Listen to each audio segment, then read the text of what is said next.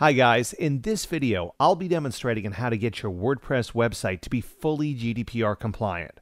Now, as you already know, on May 25th, the GDPR regulation will become law, and it's mandatory for every website to be GDPR compliant. With this new regulation, if you collect data or if you manage any online business that requires you to collect any form of information from your visitors from any of the EU countries, including UK, be it their names, email addresses, or phone numbers, also, if you're collecting cookies or use any third party cookies or API, you have to be GDPR compliant. GDPR Suite is a WordPress plugin that is developed to meet these new EU privacy regulations, known as GDPR. And in this short demonstration, we would like to visit and meet the seven essential criteria cookie consent regulation, which we have to meet, privacy policy, terms and conditions, rights to be forgotten, data portability, data breach, and data rectification. The seven regulation requirements will be met on our website, as you know, and you've been receiving their notifications about changing their policies. I'm talking about big brands like Facebook, Google, Amazon, and a lot of other big brands. They're all positioning themselves to meet this new regulation. This is why you need to have your WordPress website compliant also. First, let's take a look at cookie consent. Now, what this is going to help you achieve is to notify your website visitors, informing them that you use cookies and also collect information on your website, and they have to consent in order to move forward with your website use. In this cookie consent setting dashboard, you have the option to display cookie consent notice on all pages. To do that, check this box, and also you can also select the pages to display cookie notice on. I'll be showing samples of cookie consent notification pop up that can be placed on our website. We have five pop up source choices to select from. None, Text option, Link option, Autoresponder, which is part of an upgrade, and option to create your own custom pop up.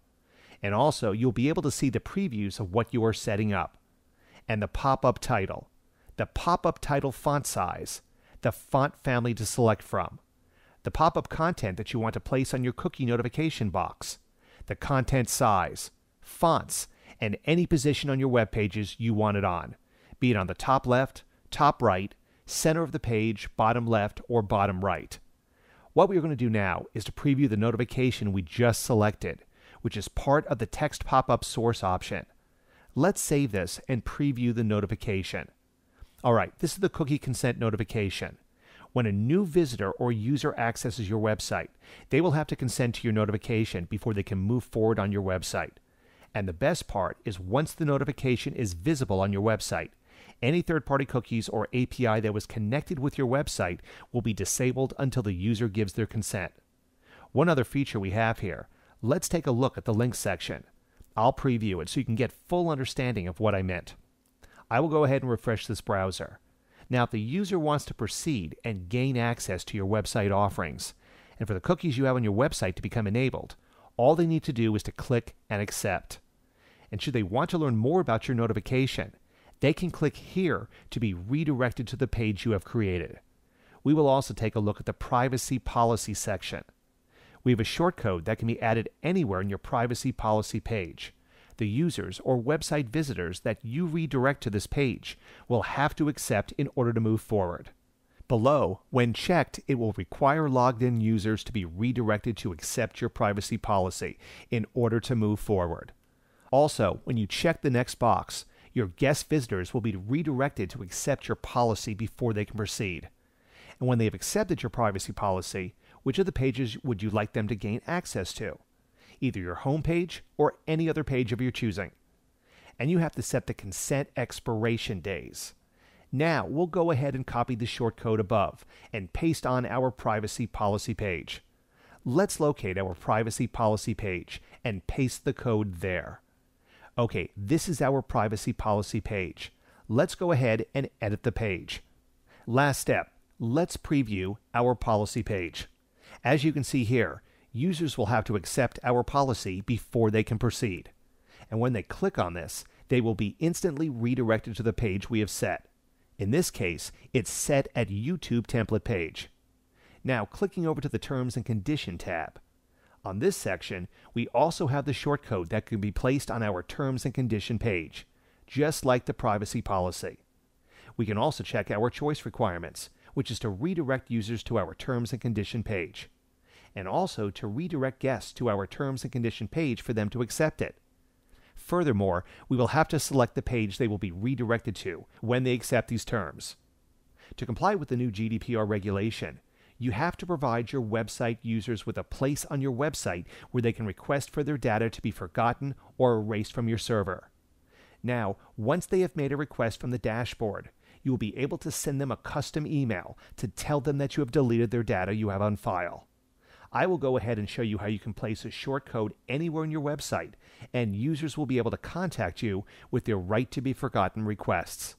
And also, this applies to the data portability requirements, whereby users will be able to request a copy of their data that you have on file for it to be sent to them. And the data rectification requirements also is whereby they will be able to fix or rectify any data that you have of them. Say they want to edit their name or email addresses or phone number, they will be able to do this. In order for us to be able to add a shortcode that can generate these requirement access, all we need to do is place it on anywhere on our website. Better yet, for this demonstration, we will go ahead and create a fresh page. And here is the shortcode that we will be using for this purpose. And we will go ahead and preview our new page. As you can see, here are the three regulations that we have to meet, which are personal data access, users can enter their email and request their personal data. Second tab is the Forget Me. Here, they can request that all data we have on file about them on our website, say if they have registered on our website or posted on our website, wrote a comment. All they need to do is enter their email address to send this request across, and once this is done, you'll be able to delete their files that was once on your WordPress server. Lastly, data rectification. If they've made any error on your website, say they misspelt their name or entered the wrong email or phone number, or the information that they have given at first was wrong and they want to rectify it, they can always enter the current data they gave and the new data they want to be changed and their email address. Once they click on Submit, automatically you'll be able to get this new request on your WordPress dashboard and revert accordingly. I need not tell you about how important this new GDPR requirements is for all online websites or businesses. This is the reason why we have developed this WordPress plugin in order to have your website meet these seven rules cookie consent, privacy policy, terms and conditions, rights to be forgotten, data portability, data breach, and data rectification. Go ahead and order GDPR Suite today and have your website meet these requirements in minutes.